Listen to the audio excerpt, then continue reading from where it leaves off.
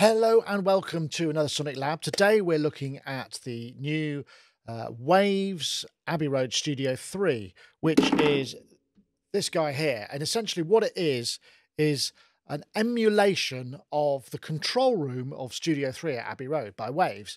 Now, um, so what? This is kind of uh, a, weird concept. I mean, it, it, stems from the Waves NX technology, which is uh, uses sort of spatial recognition of your head within a space uh, to simulate over headphones an actual acoustic space.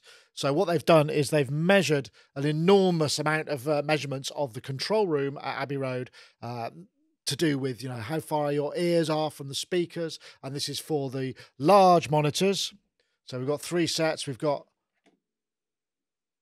far, mid, and near. And all of these have been measured.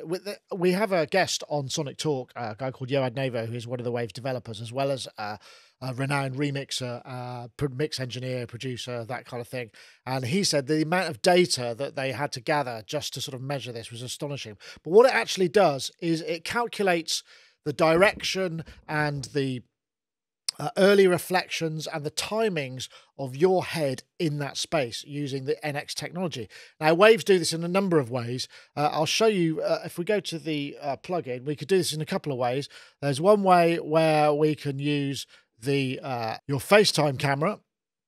So here's my FaceTime camera, and I'm using it. See, it's recognizing my face in the FaceTime camera, and it's converting that. You can see that the the head tracking information is is is basically working. I mean, there it goes. And this is all well and good, so you don't need any other hardware.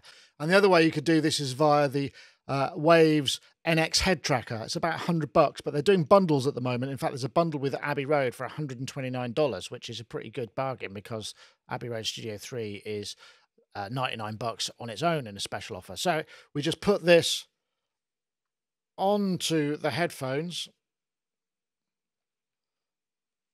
There's a, a little sort of rubber grip thing. So there we've got that. Excuse my uh, rather messed up headphones. And I put that on. So now, if I go to my settings, you can see, let's just get the settings up. So the head tracker, I turn the FaceTime camera off.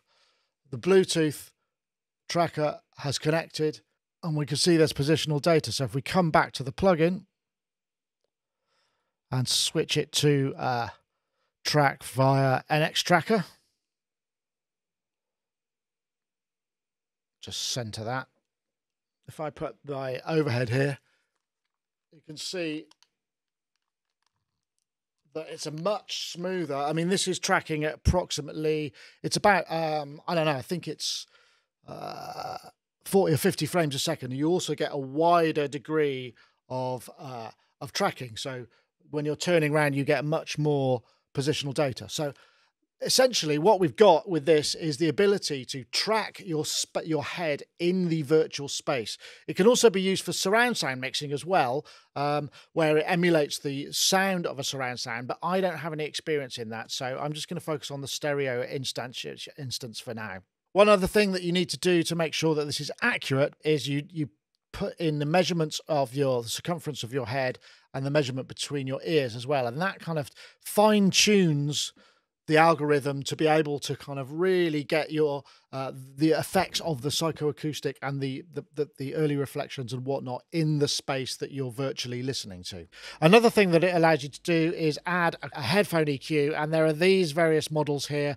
I don't have any of these. Uh, the model that I've got is um, it's actually the Senal or Senel, which is an Indian uh, manufacturer, and it's very much based on the Sony Studio headphones, which is quite an old one, and they're ones that I know really well. So that's what I would personally use. So I haven't applied the EQ, but if you've got one of those, then it's got a curve that's sort of designed to make the most of your uh, headphone uh, EQ as well. Right. So where do we put this? So on the master track here, I bring my plugins in. I've got my general dynamics plugin. I've got a frequency analysis plugin.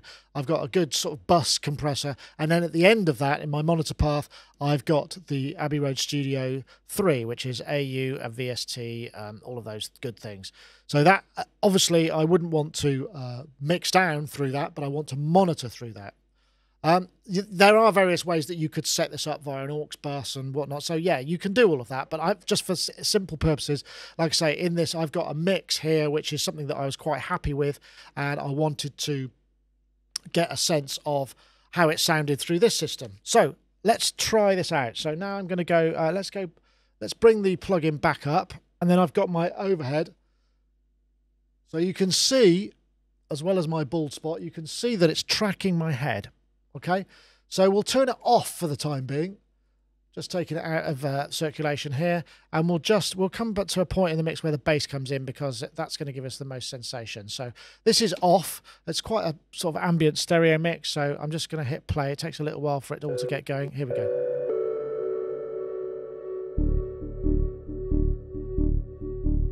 So that's my mix as it is.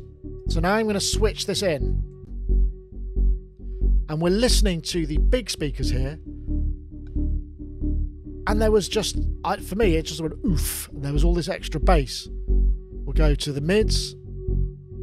We can hear there's a change in the coloration of the bottom end. The nears, again, it seems to sort of narrow a little bit. I'm just going to fast forward this a bit so there's a bit more uh, top end information in there. Right, so now I want you to move your head. You need to be listening to this on headphones. So I'm going to turn my head to the left. And I'm hearing it move around back to the center and then turn to the right.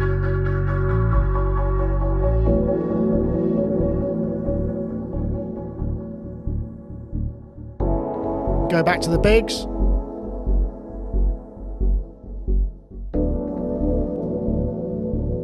Hearing all of these details. I will just take it out again.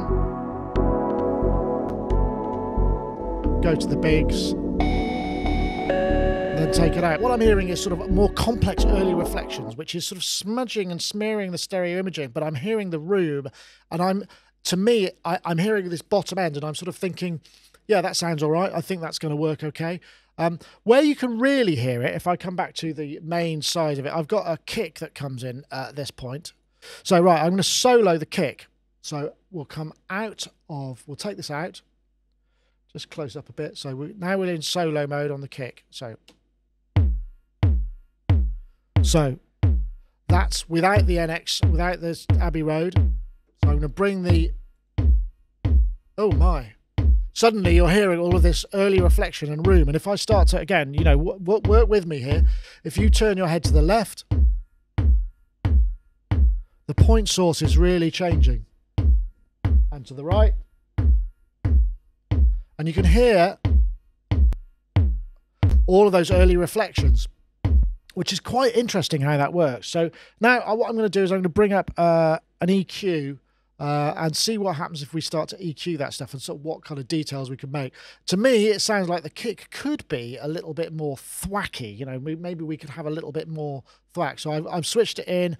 I'm going to listen on the far monitors uh, to begin with. So here I have got a frequency. So we'll, let's play.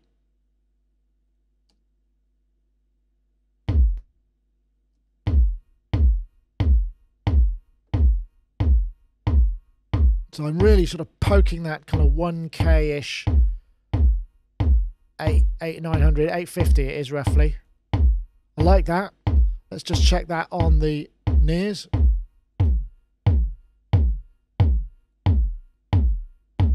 And without. Yeah, I like that. I think particularly on the bigs, it sounds pretty good. Sounds like there could be, could there be any more bottom end? No, that's probably a bit too much, isn't it? Okay, so now we come out of solo and let's listen to that uh, in context and see how that feels.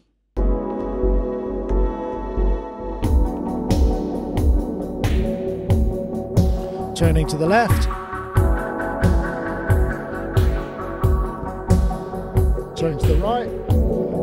And now I, am almost forgetting that I've got headphones on because I've got a pair of Genelec 1029As in here and it sounds quite in the ballpark of that. So when I'm moving around, I'm getting the sense that the speaker I do I am listening to the pair, a pair of speakers. It's quite weird, and, and you, you're I have tested this, so I know if you've got headphones on listening to this mix, and you turn it up a reasonable amount and you turn roughly in sync with me, you're going to get a similar effect. And it's it allows you to kind of get a sense of whether things are right or not. So one thing I will notice is um, if I go back to my uh, pads,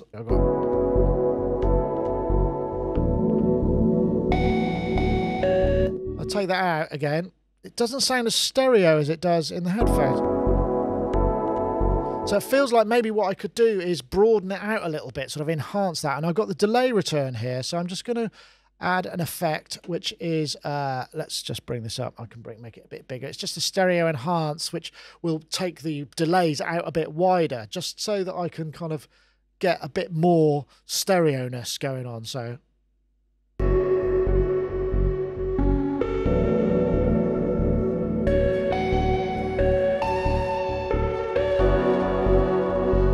just throws it out a little bit to me I quite like the way that it's doing that uh, the other thing I want to check is is the bass all right? Because this uh, we we just get bass. Well, if, actually, if we go here and we can't put our loop back on, we should have bass in abundance. So if I start turning this up.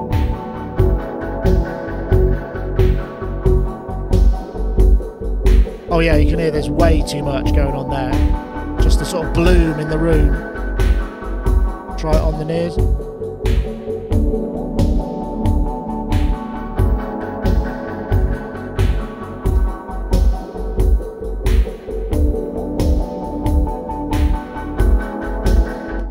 And, and this is where it seems to make the difference. I mean, uh, I'm getting a sense of the sort of the tightness and the the bottom end stuff, stuff that's quite hard to get right in headphones unless you know them really, really well.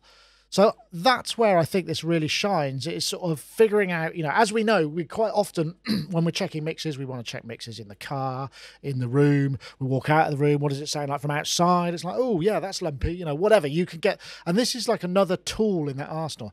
I mean, where I think this could perhaps be even more effective, actually, let's just, while, I, while we're, let's play this a second, because I would really like to show you what it's like when you spin it around 360 degrees.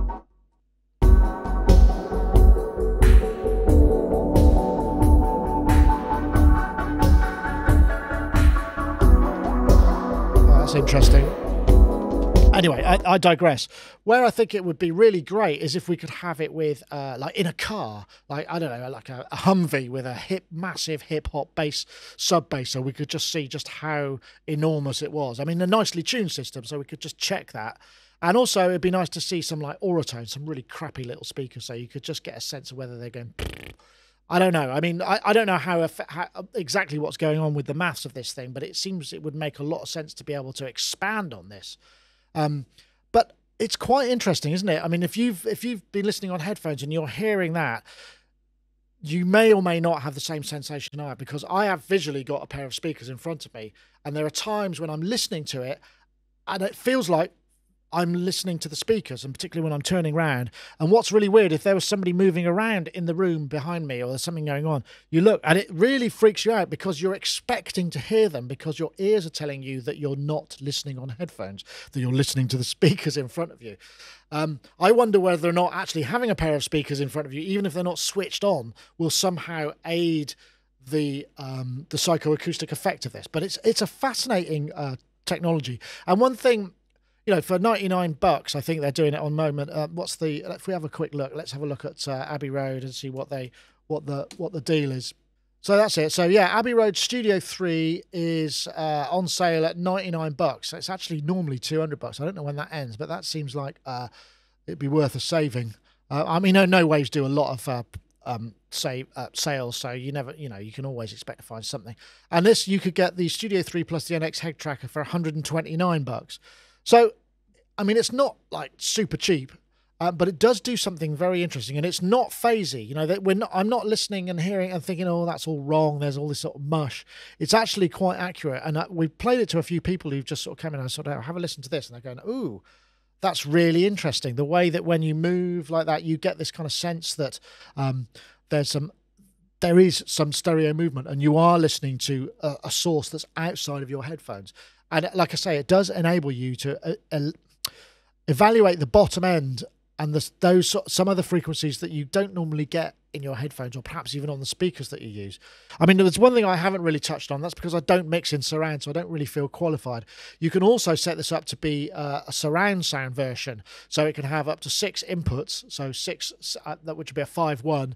And that means that you can have multiple sources, and then what you see is, as we spin it around, you can see that there's this, there are these other speakers around the room which allow you to effectively, you know, pretend like, well, uh, pretend I say, uh, simulate like you're listening to that, which uh, which I'm told can work quite well. I don't know whether you would want to necessarily mix a feature film on it. Um, you know, just on headphones.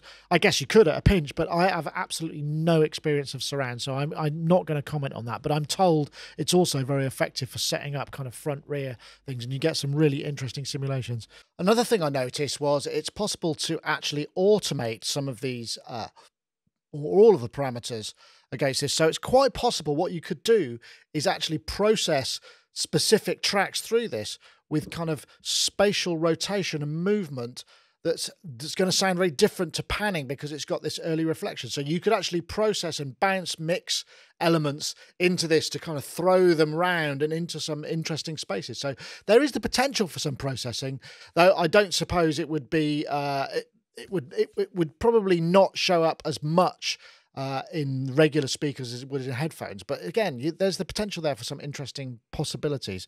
And like I say, all you have to do is automate those parameters, and you can basically access all of them, as far as I can tell, uh, via DAW automation. Anyway, that was the Waves uh, Studio 3 Abbey Road plugin uh, combined with the NX headphones uh, head tracker, which again you don't need. You can use uh, your webcam if you've got a, a, computer that's got enough power to dedicate to give you a decent frame rate on that. Anyway, that's it. Thank you very much for listening. We'll see you next time.